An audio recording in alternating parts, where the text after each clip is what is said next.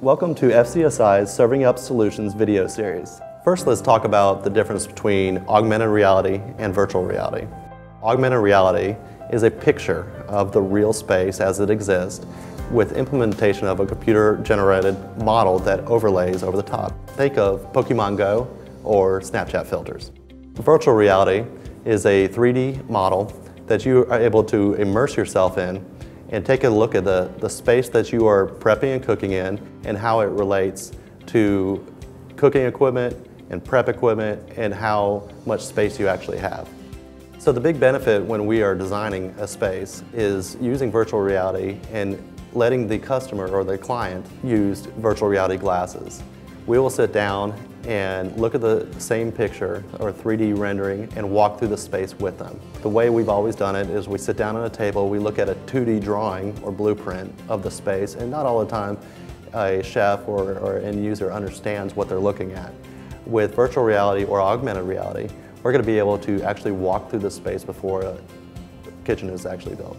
Mobile app technology has revolutionized the way a restaurant will actually interact with the customer.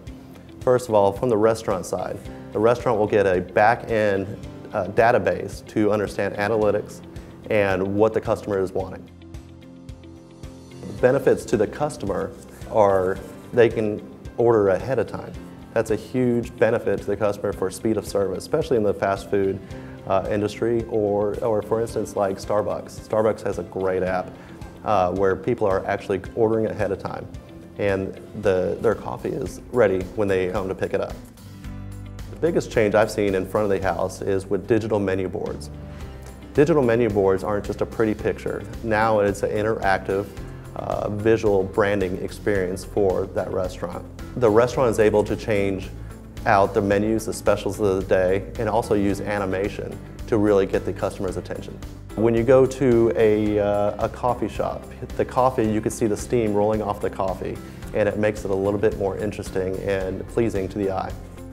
FCSI has been a wonderful association to myself. Uh, I'm a fairly new member, uh, just in the past few years, and uh, it is the benefits to FCSI for me is being able to network with colleagues, ask questions.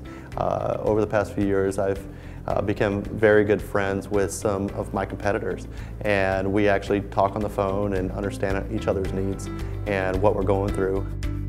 Thank you for watching FCSI's Serving Up Solutions video series.